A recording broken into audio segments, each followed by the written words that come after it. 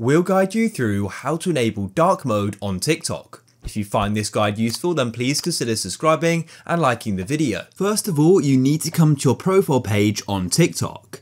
Next, you need to head to the top right and go and click on the three lines like this and go and click on settings and privacy. And then what you need to do is go and scroll down until you see display in content and display. So go and click on it. And as you can see, we then have the option for appearance. You can either have the light mode here or the dark mode like that, and TikTok is now in dark mode.